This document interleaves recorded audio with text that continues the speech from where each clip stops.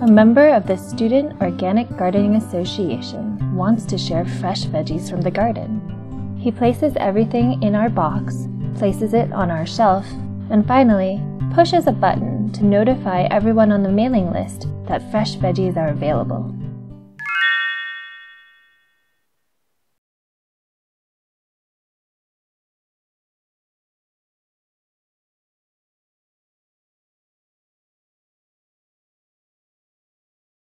Another SOGA member is delighted to hear the news and rushes down to the garden to get first pick of the fresh produce. People who are not on the mailing list are also welcome to help themselves to fresh produce.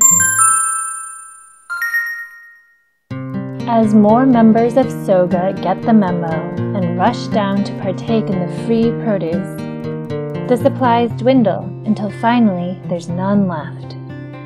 The last person pushes a button to notify everyone else on the listserv that the last veggies have been taken and they shouldn't waste their time coming now.